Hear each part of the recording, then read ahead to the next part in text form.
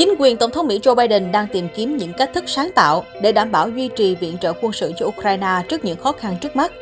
Hôm 6 tháng 10, Politico dẫn lời Tổng thống Biden nói, có một cách khác để Mỹ có thể tìm được nguồn tài trợ cho Kiev.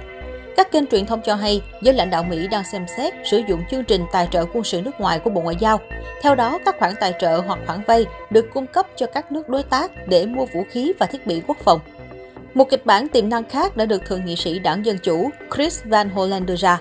Kế hoạch này dự tính một cuộc trao đổi ba bên, trong đó Ba Lan sẽ nhận được hệ thống phòng không vòm sắt của Mỹ, còn Warsaw sẽ chuyển cho Kiev một số hệ thống phòng không Patriot của mình. Tuy nhiên, kịch bản đó có thể gặp khó khi Israel, nước đồng sản xuất hệ thống vòm sắt, có quyền phủ quyết việc chuyển giao và đã từng từ chối cung cấp trực tiếp vòm sắt cho Ukraine.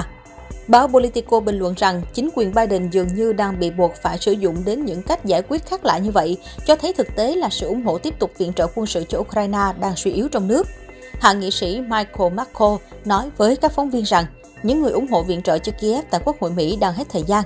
Trong khi đó, vào ngày 7 tháng 10, The Telegraph, khi trích dẫn các nguồn tin giấu tên, đã đưa tin rằng chính quyền Biden đang xem xét một gói viện trợ tiềm năng trọn gói một lần cho Ukraine với tổng trị giá lên tới 100 tỷ đô la Mỹ.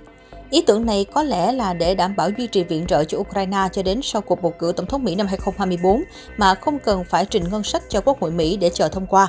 Tuần trước, các nhà lập pháp Hạ viện Mỹ đã thông qua dự luật chi tiêu tạm thời để ngăn chặn việc chính phủ đóng cửa, nhưng trong đó không có khoản phân bổ mới nào cho Ukraine.